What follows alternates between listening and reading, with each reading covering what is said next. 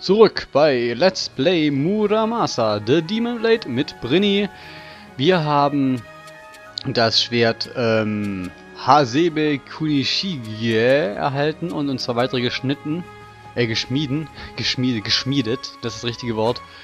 Und mit dem können wir jetzt ähm, unser Tor durchbrechen da hinten. So, Zielo. Wenn wir nicht wissen, wohin müssen, drücken wir Z. Dann sehen wir hier toll die Karte. Und zur Flagge müssen wir hinlaufen. Und da kommen, jetzt können wir unsere neuen Dämonenschwerter testen hier. Und mal die Fähigkeiten auswählen. Das ist die Windmühle. Uah, das fetzt rein. Und mal gucken, was die anderen Schwerter drauf haben. Wir haben noch das hier. Aber ich glaube, die werden wir erstmal nicht sehen. Nein. Die haben wir zu sehr verhauen. Dann müssen wir das Schwert beim nächsten Encounter testen. Hier zum Beispiel. So, das kann Doppelblitz. Okay, das macht halt ein bisschen blitzmäßig was. Es war jetzt nicht so spektakulär wie das von dem anderen Dämonenschwert.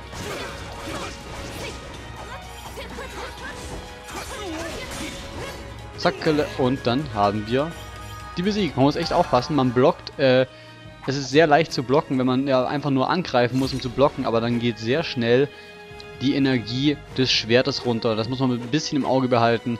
Sonst hat man schnell einen Haufen Schrott in der Hand.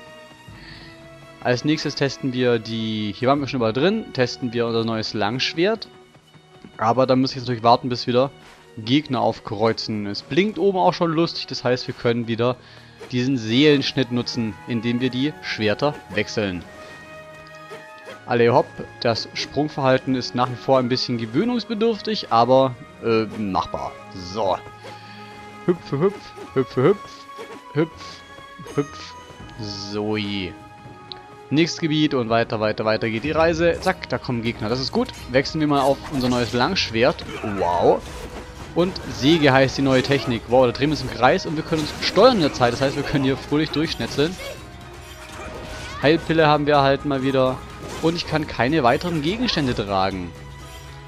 Das finde ich nicht gut. Schon mal einfach in die Tasche hinein. Objekte.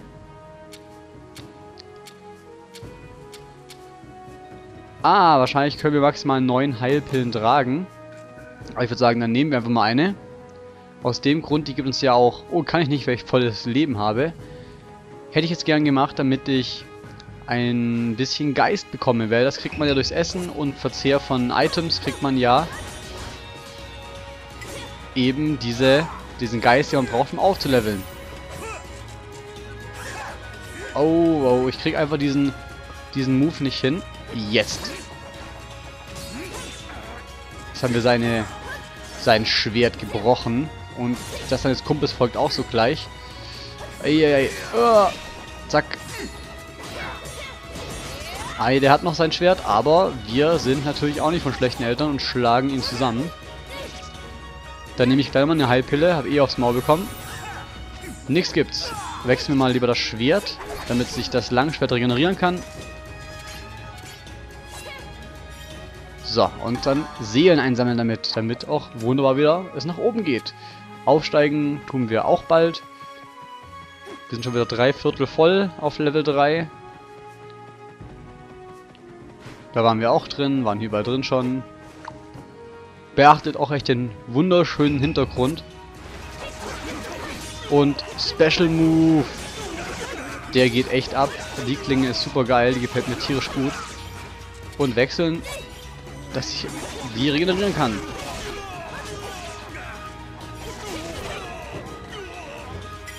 Mehr Power für unsere Klingen, mehr Seelen und so.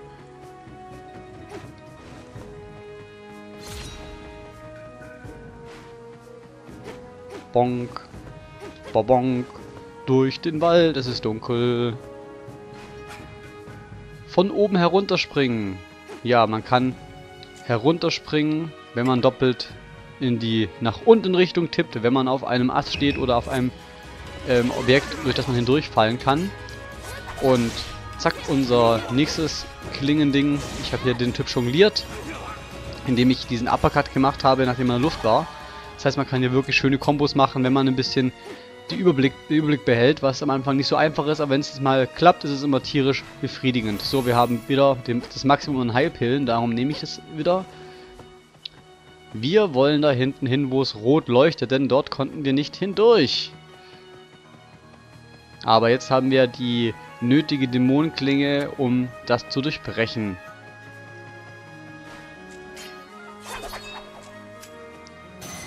Und die Barriere ist zerstört. Wir kommen weiter. Auf dem Weg nach Edo. Und wir sind jetzt hier in Sagami.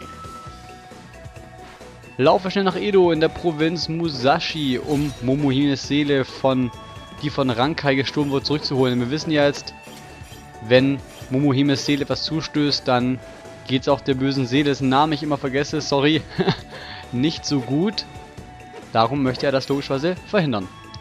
Ich möchte Seelen sammeln, denn die brauchen wir zum Aufsteigen oder zum Schmieden von neuen Schwertern und ähm, ja, denn bald heißt es Level 4 und dann habe ich wieder mehr Vitalität und Stärke und kann vielleicht mir ein neues Schwert schmieden lassen von Muramasa. Hier gibt es ein Secret. Nur wo? Erstmal kommen jetzt Feinde. Wow, es ist ein riesengroßer Blob. Und er greift mich von oben an. Wechseln wir das Schwert, dass wir hier den Seeschnitt haben. So. Doppelblitz und besiegt. Levelaufstieg. Perfekt. Dann lass uns mal in die Schmiede schauen. Ich kann jetzt die Karte verwenden. So.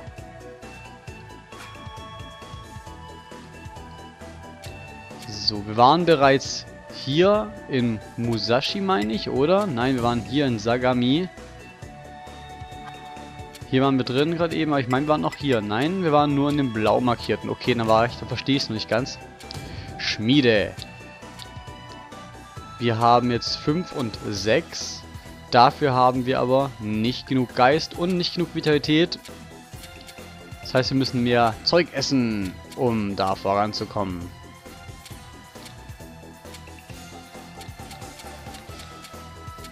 Na, na, na, na, na. Du brauchst auch noch ein bisschen mehr Power. Also gut, dann schauen wir mal, dass wir bald was Größeres zu essen finden. Man lernt später auch kochen. Vielleicht habt ihr schon in dem ähm, tollen Menü gesehen, dass da auch ein Menüpunkt Kochen ist. Und ich muss jetzt hier versuchen, präzise hochzuspringen. Weil ich ja immer noch ein Secret habe, das nicht gefunden ist hier. Springen mit dem Stick ist wirklich nicht einfach. Na, ah ja, da haben wir das Secret.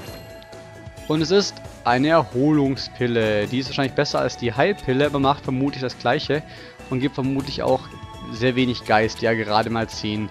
Nur Nahrung gibt richtig viel Geist. So kleine Heil-Items, die geben nicht so viel. Das heißt, ich warte mal, bis ich mehr Schaden genommen habe mit dem Heilen und nehme dafür dann so was, das auch ein bisschen Power gibt, also ein bisschen Geist. So, was haben wir irgendwelche Kobolde. Und den jonglieren wir. Und dann würde ich sagen, machen wir hier mal den Switch. Und machen einfach mal weiter.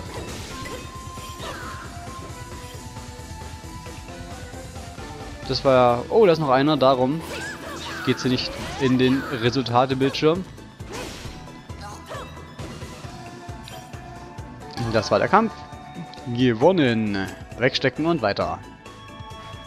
Ihr seht schon, es geht Schlag auf Schlag in dem Spiel hier. Oh, da geht es rüber. Aber wir müssen ja... Rufen wir mal kurz die Karte auf. Wir müssen nach Musashi, meine ich. Nicht nach Isu, sondern nach Musashi. Aber ich möchte erst das Secret hier haben, bevor ich weitergehe. Wir müssen nach Edo in Musashi. Oh, es sind glaube ich stärkere Ninjas als die bisherigen. Die sehen anders aus. Ich kann wechseln, das mache ich auch. Hoch mit euch und dann in der Luft jonglieren und rüber und runter. So. Ihr seht schon, wenn man so, so ein bisschen reinfuchst, dann geht das mit den Kombos echt ganz flott und es ist sehr befriedigend, auch dann ähm, sowas auf dem Bildschirm zu zaubern. Und es sieht ja auch wirklich cool aus. Yeah, da gibt's das Secret. Ich hoffe mal, es ist irgendwas Brauchbares, Cooles. Es ist ein Feuerzauber, was auch immer. Das ist auch eine Erholung. Ein Zauber, der dich vor Verbrennung schützt. Okay, alles klar. Und wir wollen es nach rechts. Wir wollen nämlich nicht nach Isu, sondern Richtung Edo. Seelen zum Aufsteigen und irgendwo gibt es noch ein tolles Secret. Und noch mehr Seelen, Seelen, Seelen für die Schmiede. Nom nom nom Seelen. Da oben, da ist das, was wir haben wollen. Rauchbombe. Aber das ist doch bestimmt kein Heil-Item, oder? Nein, das ist das hier. Rauchbombe. Kleine Bombe, die einen Rauchschleier verbreitet, lässt dich bei Nicht-Bosskämpfen entkommen. Okay. Ähm...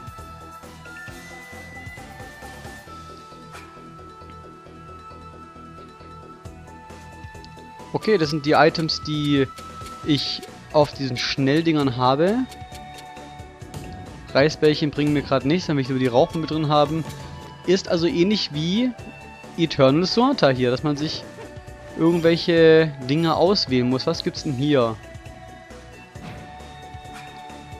Ah, eine Barriere. Ich brauche eine mächtigere Dämonenklinge. Eine, die lila Schlösser zerstören kann.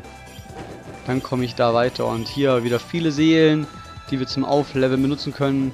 Aber wir wissen ja, wir, uns fehlt noch so ein bisschen an Geist. Also brauchen wir Essen. Und ich möchte einfach nicht die, die, wie heißen die Teile? Die Bambusflaschen aufbrauchen, nur um den Geist zu bekommen, weil momentan sind die Schwerter, die wir haben, relativ solide. Also tun es die fürs Erste auch. So, hier einmal durchschnetzeln, dann den Special Move raushauen, wechseln, jonglieren, runter und... Oh, da so noch.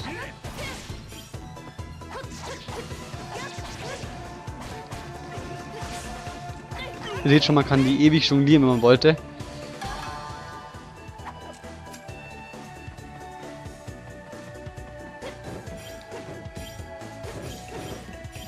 Jede Menge Seelen für mich. Und weiter geht's ins nächste Gebiet.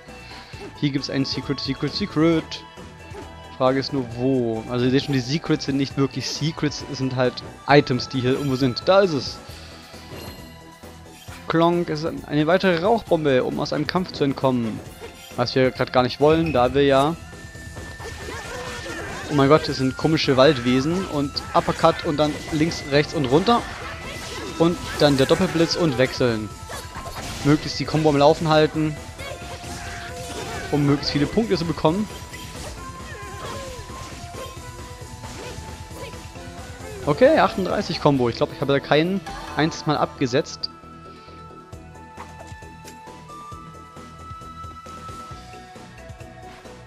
Und da ist äh, der Fuchsdämon, auch dessen Namen habe ich wieder vergessen. Es tut mir sehr leid, dass ich die Namen nicht merken kann, aber diese japanischen Namen wollen mir gerade noch nicht so in den Kopf gehen. Ku, Koni, Ko, Kongiku. 土地の狐に助力をこい王子の狐らの申すには九段の人物らしき僧を吉原界隈で見たとの話にございます吉原だと赤い坊主め女の股下にでも隠れおったか Also gut, dann ziehen wir mal los. Das speichern wir. Und ich glaube, dass da vorne eine... Nee, ich dachte, es kommt noch eine Bosstür, aber anscheinend nicht.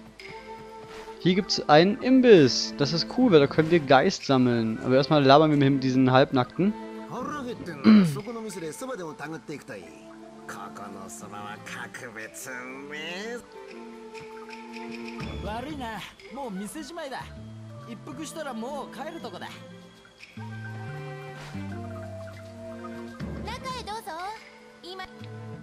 So, hier können wir essen.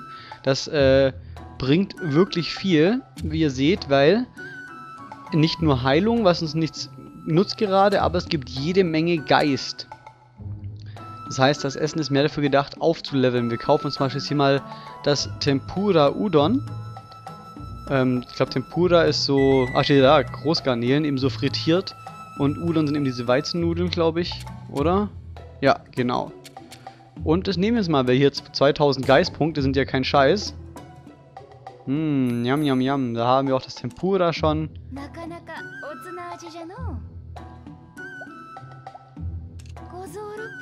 Und schon haben wir es geomnomnomt und sind gesättigt. Und ja, ich würde sagen, das reicht uns fürs Erste an, an, ähm, an Geist. Dann können wir gerade mal in die Schmiede gucken, gucken, ob wir uns neue Schwerter machen können. Ah, wir haben es ja massig oben. Haha. Da fehlt uns noch massig an Werten, genau wie hier. Aber da... Da fehlt es uns auch noch an Vitalität leider, bevor wir dann hier weitermachen können. Das ist schade. Das ist wirklich, wirklich, wirklich schade. Aber da müssen wir das nächste Level up abwarten. Das ist aber auch bald erreicht. So, Omachen.